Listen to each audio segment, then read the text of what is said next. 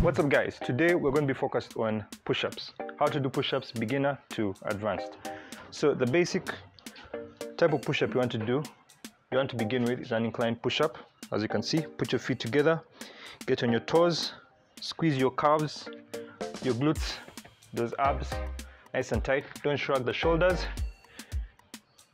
Get those shoulders nice and pushed down, chest out nice and proud, and squeeze and out. You want your elbows to kind of flare a little bit outward, not too much, and not all the way in, just a little bit, about 45 degrees. Chest out nice and proud. Don't shrug the shoulders upwards. Keep it nice down. Feel that chest stretch. Feel it stretch. Good. Control down. Push out. So that's the basic variation. Um, for each of the variations, try and be able to do at least um, 10 to 15 reps before you can move to the next.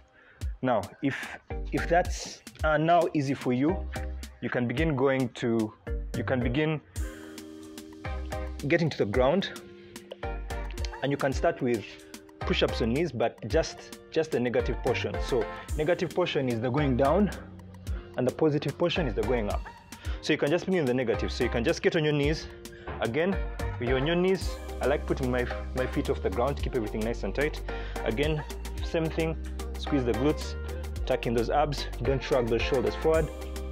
Try and stick out, uh, try and get that chest out nice and proud. And then just control the negative, squeeze. And then you can come up whichever way you want. Get back again, nice and tight. Squeeze all the way as you go down. Feel your chest stretch, come up whichever way you want. Get into position once again. Get the shoulders backward and squeeze. If this now is becoming easy for you, you can do about 10 to 15 reps. Yeah, you can now begin progressing to the next one, which is the full push ups on knees. So, push ups on knees, this time we are doing both the negative and the positive. So, you can see that nice and tight, all the way up, push up. I like pushing up with intensity eh? and squeeze at the top. Your, your, your glutes should not pop out at the back. So this is these are not good push-ups. See people with their glutes popping out. No, keep it nice and tight. Only movement is at your elbows and your shoulders. So once you once again 10-15 reps of these, you can now begin progressing to push-ups. Standard push-ups. But again, I advise that you start with the negative. So again, get into position, get on those toes, keep keep those feet nice and tight together, chest out like that, nice and proud, shoulders pushed backward, and then control down, and then you can come up maybe with a push-up on knees. See that?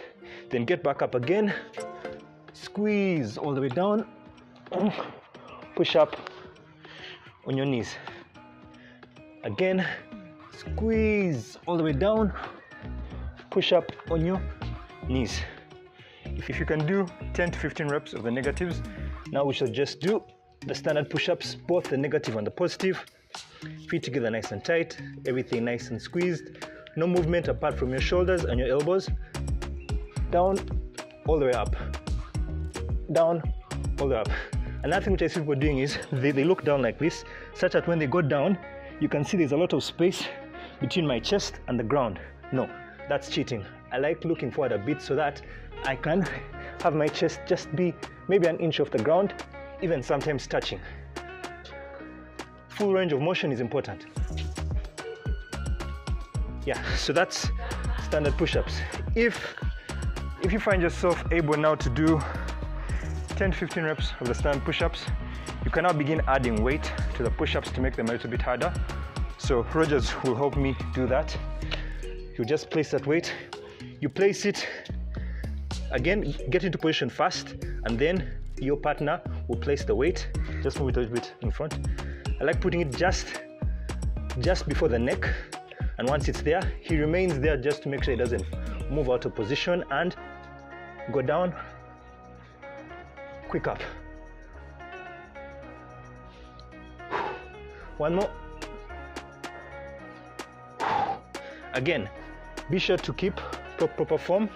If you have a weight vest, you can do that. Of course, it will be much, much easier. All right, so that's all that we had. that was push-ups beginner to advanced next video we'll look at something else take care peace